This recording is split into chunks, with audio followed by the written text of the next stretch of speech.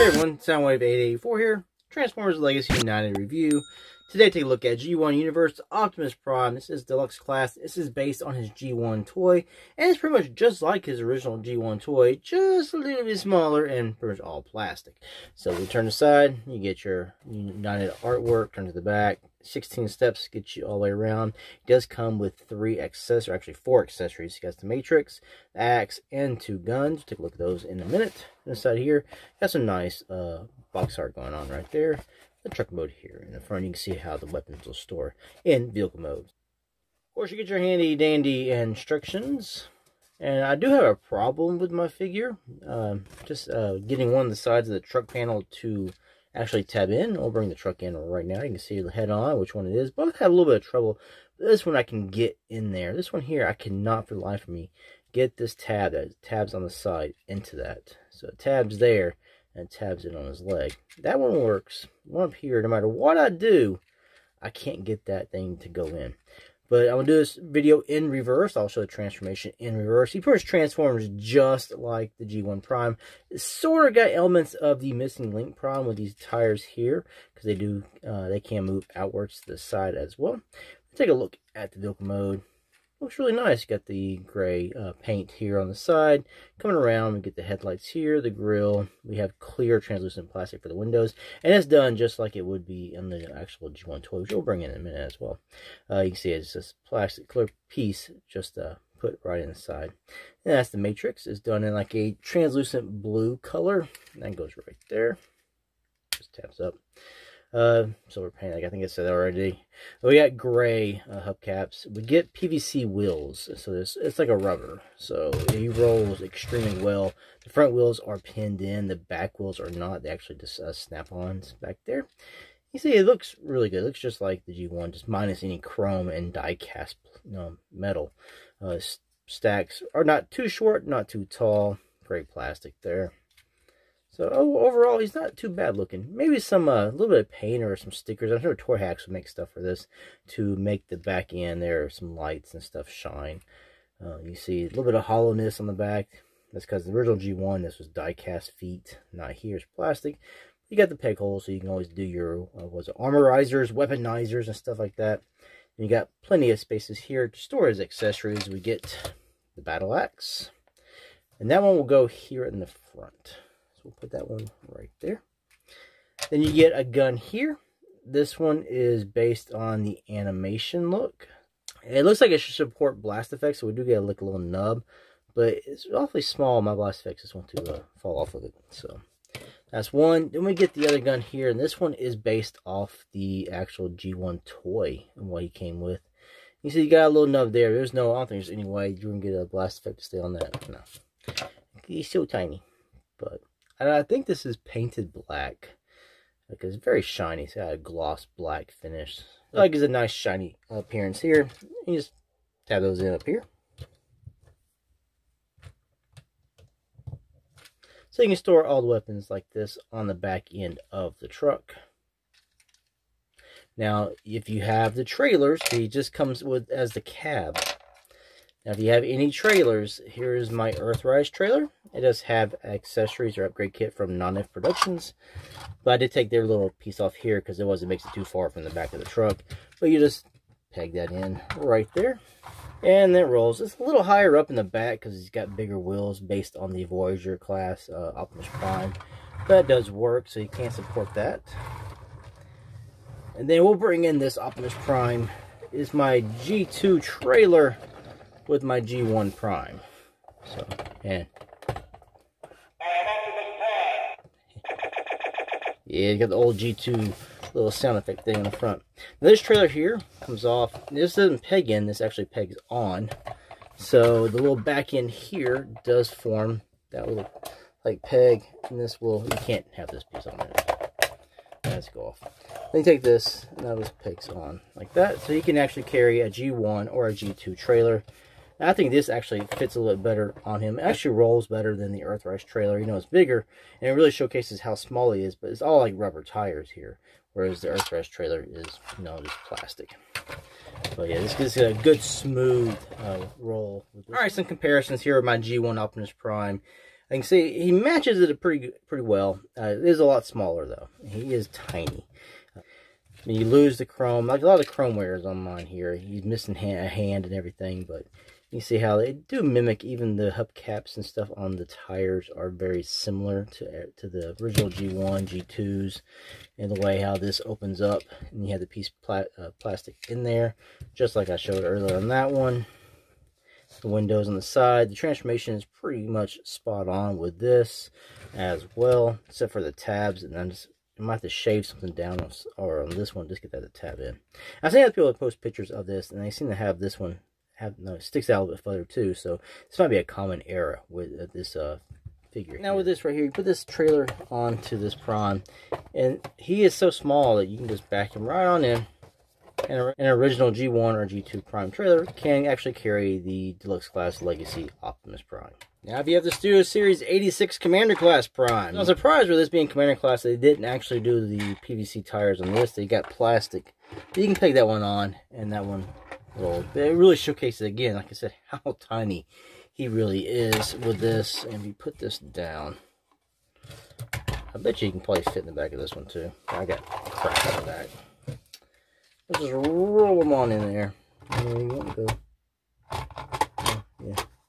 There you go. So the is uh, smokestacks to go underneath. Yeah, he fits right in the back of that as well. It's a very small. Let's take your kid to work day. Optimus Prime. All right, some more comparisons. Here he is next to the other pipes guy. I don't remember this guy's name. It's not Road Ranger. There's the other one. Um, you can see they're pretty similar in size and in length here. So, I'm wondering in robot mode if he's going to be about the same size as this. I actually haven't compared that on my own yet. And next, to Deluxe Class, Earthrise Sunstreaker. You see how tiny this Optimus Prime truly is. And next to Deluxe Class Ratchet Studio Series from the Bumblebee movie. Alright, so let's transform this Optimus Prime into robot mode. Very simple. You want to untab here from the legs and from the sides. Take his legs, bring them down, untab, pull his feet forward. You come up here, work on his arms. The smokestacks, smokestacks, smokestacks do wiggle, um, so they will move around on you. This untabs, there's a tab here that locks into the arm. Just bring this to the front. Bring this out. So there's a tab right here. And that's why I can't get to go in that little slot. It just doesn't work on this one. Bring that around. Bring this back. I'm to flip his head up. Maybe. Come on. Then this right here, just go, go right over that. Lock his head into place. Now on his arms, his hands, we want to bring this down. Now on my right arm, this gives me resistance. It's like a few clicks, but this one doesn't want to click down. And I'm actually afraid I'm going to break or stress mark this one. And this one spins out and closes back up. This one here in this arm does not give me a problem at all. This way it should go. Spin it around. Close it back up. And you have transformed Optimus Prime into robot mode. Now these little wheels here can untab and move out to the side, very much like the missing link Optimus Prime. And there you go, Optimus Prime in robot mode. Right off the bat, he's got yellow painted eyes, very much like the G1 toy, but you look at the top of his head, you see the yellow painted right up here. I'm betting he had light piping to begin with, and they painted this over to hide the light piping. But by doing so, we get these bright yellow eyes, which I do like. Now, if you look on the back of the packaging, you can see that he has oranges, oranges. You see he has orange translucent eyes similar to his battle axe. And but that's what they had there originally. And they changed it. It's like a running change. Like, no, we're just to make this yellow so his eyes will pop a little bit more. Alright, bringing in my G2 Prime, which is this is a G1, pretty much with the G2 logo on the back. You see he's got the yellow eyes, and that's what they're aiming for with this. And by doing that, makes his eyes pop a little bit more. You see the head sculpt here in the mask. They actually give him the little indentions he has on the side of his mouth plate. He has them right there as well. So, get that little smushed head going on. Blues are a little bit brighter than they are here on my G2 Prime. Of course, you can get more articulation out of this guy. But he does. It's almost like a spitting image of him. He's just the kid He's the kid version of this guy. Now here in the arms, they did mold in what the stickers would look like. I don't have any stickers on my version there. And we get the Autobot insignia on his left uh, shoulder here. Look down his legs. See, everything is molded in like they would be stickers. You see this, since I don't have stickers on this, there's none of that actually there.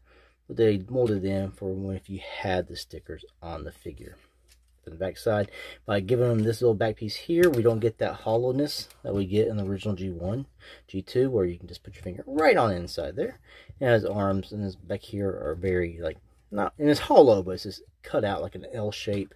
Here, these are more solid. So that is nice. Articulation on this guy, shoulders to there.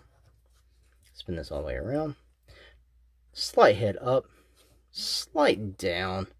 360 all the way around. You bring that up. You gotta get your waist swivels down here. Bring that down. You can bring that up to and kick his forward. Kick his forward, forward. Kick his forward. My God, kick his leg forward. Kick his leg back. You get thigh swivels, knee bends, and ankle tilts for days. And there's no wrist swivels there. And you get your elbow uh, swivel underneath the bicep. So I think I did this right. 360 that around too. So that's your articulation here. Whoa, on Optimus Prime. And since I have the G2 Prime here, I can actually show you the gun. How this is very similar to that one. They did mold in some of the detailing, so it's pretty much like the other one. But they just kind of changed it around somewhat at the very front of the gun. This is the animation version. And this is more the to toy version. See, yeah, the front, he's kind of got that going on there. Size comparisons and robot mode. Here he is next to Kingdom Huffer. Get a nice size there. We'll bring in blown apart Prowl. Pretty much the exact same size as Deluxe Class Prowl there. And we'll just go ahead and bring in Dying Ironhide, who is bigger. And of course, we have the G2 Prime, which you already saw, which was bigger as well. So I'm taking this gun here. We're just going to stick it in this hand. You take the battle axe, you put it in this hand, or you put it in the other hand. It can go in either one. You put the gun in the other. And you still have this right here on his back, so you can store the extra weapon right back here. So, all that I really can't store right there would be the battle axe. Both the guns can go there. So, Optimus Prime, Deluxe Class, really cool, very tiny. I'm not say he is small. That's the one thing. He just feels, you know, I don't say he feels cheap. He feels small but he feels overall better quality than, say, Wavemate Quake, who feels more like his plastic's cheaper. He feels a little more solid, and I understand why he's smaller, and maybe in a way is because he's got more accessories. He's got the Matrix of Leadership right inside his chest, which comes out. I, you actually have to plug that in. He's got the battle axe, two weapons, and he also has lots of articulation, and he also has the PVC rubber tires. So they did more for him and he probably got a little more of the budget. So him being smaller, while I can disappoint some people, I still love it. It's a nice little prime, a good homage and updated version of the G1. Of course, if, if you want diecast, you know, and all that, get yourself the missing link. If you don't mind a modern version of the G1, all plastic with some rubberish tires, this is a good pickup. Is it $25 worth? I say yes, for the fun and the nostalgic factor of this prime. I say he's worth the money. Anyway, thanks for watching. Until next one. Peace out.